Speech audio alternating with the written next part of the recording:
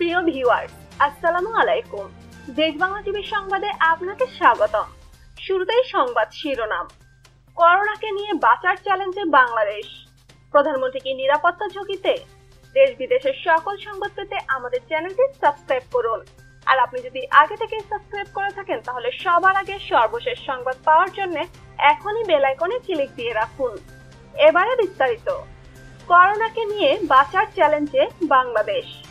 বাংলাদেশ এখন করোনাকে চ্যালেঞ্জেই ছুড়ে দিল। করোনার সাথে বসবাসের নীতি গ্রহণ করল। করোনা প্রতিরোধ নয়, করোনার ভয়ে ঘরে থাকা নয়, বরং করোনাকে চ্যালেঞ্জ জানিয়ে অর্থনীতিকে সচল রাখা এবং অর্থনৈতিক কর্মকাণ্ড চালিয়ে যাওয়ার নীতি গ্রহণ করছে বলে বাংলাদেশের পদক্ষেপগুলো স্পষ্ট ইঙ্গিত করছে। বাংলাদেশে এখন লকডাউন নেই বললেই চলে। শুধুমাত্র গণপরিবহন ছাড়া সব পরিবহন চলছে। মানুষ কোনো মানুষের ঘরে নেই এবং সামাজিক দূরত্ব বলে কোনো কিছুই নেই। স্বাভাবিক সময়ে মানুষ যেভাবে চলাফেরা করে, সেভাবেই চলাফেরা করছে মানুষ। কাজেই এটি থেকে স্পষ্ট হয় যে করোনা নিয়ে যে বাংলাদেশ ভয়ে আতঙ্কিত থাকবে লকডাউন করবে, কিংবা করোনার কারণে মানুষ ঘরবন্দি থাকবে, সবকিছু বন্ধ করে দেওয়া হবে, যেটা অন্যান্য দেশে করেছে কারফিউ লকডাউন বা অন্যান্য বিধি ব্যবস্থা বাংলাদেশ আসলে সেই পথে হাঁটছে না। সরকারের একাধিক গুরুত্বপূর্ণ নেতার সাথে কথা বলে জানা গেছে যে করোনার কারণে যদি সবকিছু বন্ধ রাখতে হয় সেটি বহন করার মতো পরিস্থিতি বাংলাদেশে নেই।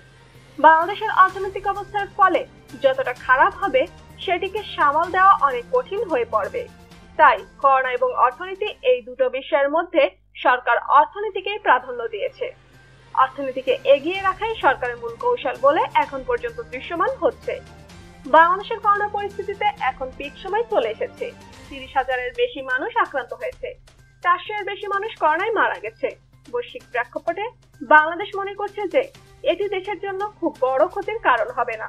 জনস্বাস্থ্য বিবেচনা করলে বাংলাদেশে করোনার চেয়ে অন্যান্য অনেক রোগ আছে, যেগুলো ভয়ঙ্কর আকার ধারণ করে। করোনার চেয়ে গত বছর ডেঙ্গু ভয়াবহ হয়েছিল বলে অনেক বিশেষজ্ঞ বলছেন। বাংলাদেশে করোনার চেয়ে সড়ক দুর্ঘটনায় কয়েক গুণ বেশি মানুষ মারা যায়, আহত হয় আরও বেশি। বাংলাদেশে করোনার চেয়ে হৃদরোগে আক্রান্ত মানুষের সংখ্যা বেশি। বেশি ক্যান্সার আক্রান্ত মানুষের সংখ্যাও। কাজেই করোনার জন্য উন্নত দেশগুলো যে পন্থা অবলম্বন করেছে লকডাউন করে দিয়ে সবাইকে ঘরে বসিয়ে রাখছে, করোনা স্থিমিত হওয়া পর্যন্ত অপেক্ষা করছে। বাংলাদেশ স্পষ্টতেই সেই পথে হাঁটছে না। বাংলাদেশ তার নিজস্ব মডেল অনুসরণ করছে। ছাব্বিশ মার্চ থেকে সাধারণ ছুটি ঘোষণা করা হয়েছে, কিন্তু সেই ছুটির মেয়াদ খুব বেশি হলে দুই সপ্তাহ ছিল। তারপর থেকে আস্তে আস্তে স্বাভাবিক কর্মজীবন শুরু হতে থাকে। আর এখন তো রীতিমতো স্বাভাবিক কর্মজীবন চলছে।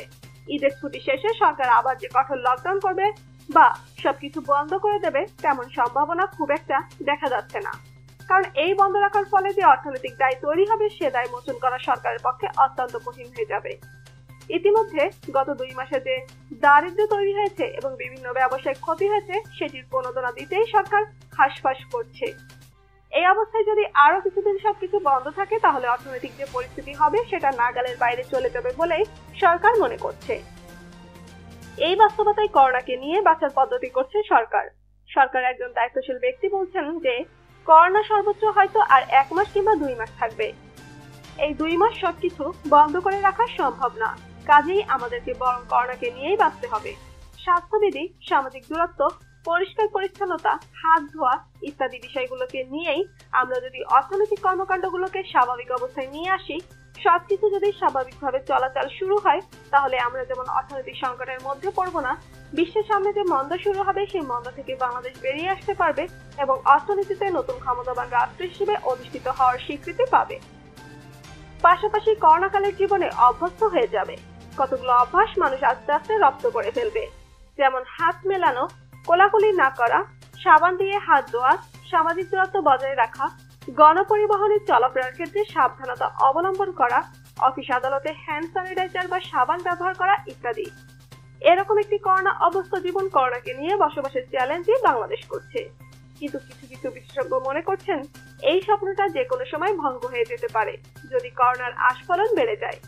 করোনা যদি তাণ্ডব শুরু করে থাকে যদি করোনার কারণে মৃত্যুর হার হঠাৎ করেই বেড়ে যায়, তাহলে এই চ্যালেঞ্জ মোকাবেলা করা বাংলাদেশের জন্য কঠিন হয়ে যাবে। তখন অর্থনীতির চেয়ে বা জীবিকার চেয়ে জীবন অনেক গুরুত্বপূর্ণ হবে। সেটার কারণেই সরকারের উপর একটি রাজনৈতিক চাপও তৈরি হতে পারে। তবে এখন পর্যন্ত বাংলাদেশ যে করোনাকে সঙ্গে নিয়ে বাঁচার চ্যালেঞ্জের পথে যাচ্ছে, সেটি স্পষ্ট। কিন্তু সেই চ্যালেঞ্জে বাংলাদেশ জিতবে কিনা, সেটা দেখার বিষয়। প্রধানমন্ত্রী কি নিরাপত্তা ঝুঁকিতে গত বছর অক্টোবর মাসে দ্রুত সম্পদ বাড়ছে এমন এশিয়ার ছয়টি শীর্ষ দেশের তালিকায় ছিল বাংলাদেশ, তারপরে ভিয়েতনাম, পরে চীন। এর মাঝে এলো করোনা ভাইরাসের ভয়াল থাবা যা দেশের পুরো অর্থনীতিকে এলোমেলো করে দিয়েছে। এটার মাঝে আমফান এসে উপকূল সহ কিছু নদী তীরবর্তী এলাকায় এমন প্রাকৃতিক তাণ্ডব চালিয়েছে যে আমাদের দেশের অর্থনীতি মারাত্মক ঝুঁকির মাঝে পড়ে গেছে। এটাকে ভালো মানুষ দুর্যোগ মনে করলেও অনেকেই এটাকে তাদের জন্য একটা সুযোগ হিসেবে দেখছে। উনিশশো চুয়াত্তর সালে সারা দুনিয়ায় যখন খাদ্য উৎপাদন খুব কম, তখন বাংলাদেশের বৈদেশিক মুদ্রার মজুদ প্রায় শূন্যের কোঠায়। এমন অবস্থায় বঙ্গবন্ধু শেখ মুজিবুর রহমান নিরুপায় হয়ে বাংলাদেশ জুট কর্পোরেশনের মাধ্যমে পঞ্চাশ লাখ মার্কিন ডলারে চল্লিশ লাখ চটের ব্যাগ কিউবে বিক্রি করেন। এরপর ঢাকার মার্কিন দূতাবাস থেকে সাতাশে মে উনিশশো চুয়াত্তর সালে কিসেঞ্জারের সই করা, তার বার্তায় জানায়, বাংলাদেশ কিউবাই পাট ও পাটের ব্যাগ রপ্তানির কারণে মার্কিন খাদ্য সহায়তা সংক্রান্ত পিএল চারশো আশি আইন বাংলাদেশ মার্কিন খাদ্য সহায়তা পাবে না। বাংলাদেশের চরম খাদ্য সংকট দেখা দেয়। উনিশশো চুয়াত্তর সালে শাড়ির চেয়েও জালের দাম বেশি ছিল। ছিল বন্যা। এই বন্যাকালে ইত্তেফাকের কারসাজিতে মিথ্যাচারের মাধ্যমে বাসন্তী নামের একজন মহিলাকে মাছ ধরার জাল পরিয়ে পত্রিকায় ছবি চাপা হলে দেশ সহ সারা দুনিয়ায় এটা নিয়ে ব্যাপক সমালোচনা শুরু হয়। সরকারের ইমেজ নষ্ট হয়। ইতিমধ্যে আউশ ধান কাটা শুরু হয়, কারণ চৈত্র বৈশাখ মাসে আউশের বীজ সরাসরি মাঠে বুনে দেওয়া হয় আর ধান কাটা শুরু হয় আষাঢ় শ্রাবণে। জুলাই, আগস্ট কাটা শুরু হয়। খাদ্য সংকট চলে যাওয়া শুরু হলে তড়িঘড়ি খুনিরা বঙ্গবন্ধুকে সপরিবারে হত্যা করে সংকটের সুযোগ নিয়ে। এবার দেখে নিন সাম্প্রতিক কিছু খবর। কয়েকদিন আগে ছাত্রলীগের একজন সহ সভাপতিকে চিন্তায় করার অভিযোগে দল থেকে বহিষ্কার করা হয়। এর বাইরে কোনো শাস্তি হয়েছে কিনা তা জানা যায়নি। আরেকজন সহসভাপতি প্রধানমন্ত্রীর কার্যালয়ের ফাইল জালিয়াতি করে জেলে আছেন। তার কত ক্ষমতা যে তিনি প্রধানমন্ত্রীর অফিসের ফাইল বাইরে নিয়ে গিয়ে টেম্পারিং করে গণভবনের মাঝে থাকা একজন বা একাধিক জনের সাহায্যে এটা করেছেন।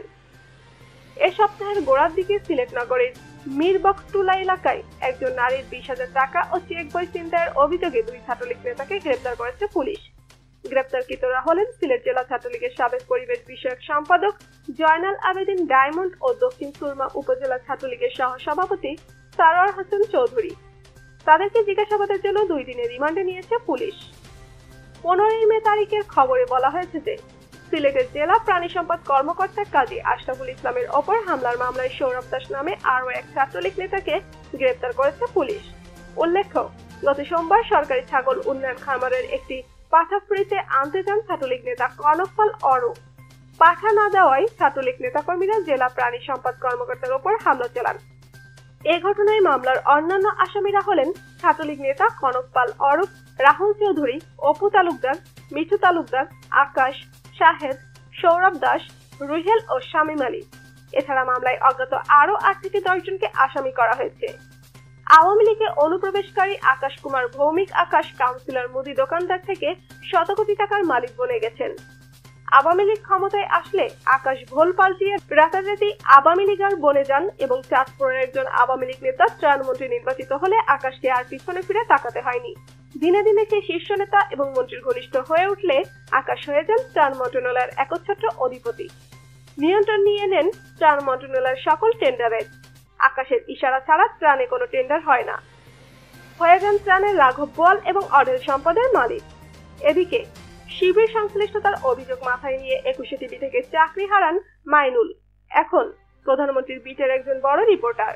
মাত্র পঁচিশ হাজার টাকা বেতনে জিটিভিতে চাকরি করা মাইনুলের ঢাকায় বর্তমানে দুটি ফ্ল্যাট, বসিলাই প্লট, হিমায়তপুরে জমি, ব্যাংকে নগদ টাকা।